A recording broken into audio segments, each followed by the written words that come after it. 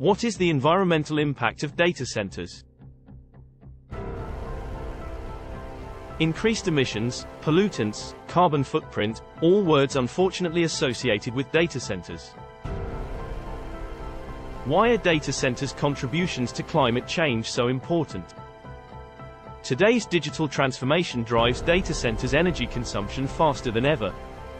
The 2021 IPCC report from the UN advised the world.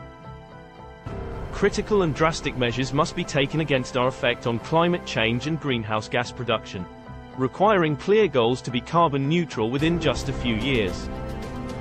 It's clear there is a long way to go to reach net zero. AssetSpire has the smart tools to help. What steps have data centers taken so far? Microsoft has been carbon neutral for a while now. Their new goal is to be carbon negative with over 80% of their data centers operating on exclusively renewable energy in 2024. What else can data centers do to reduce their carbon footprint? ESG reporting is helping to pave that road. With a dynamic dashboards for instant sustainability review and planning, our Spire platform allows data centers to set new standards.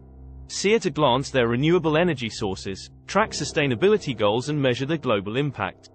Visualize your sustainability efforts. Request a Spire demo today.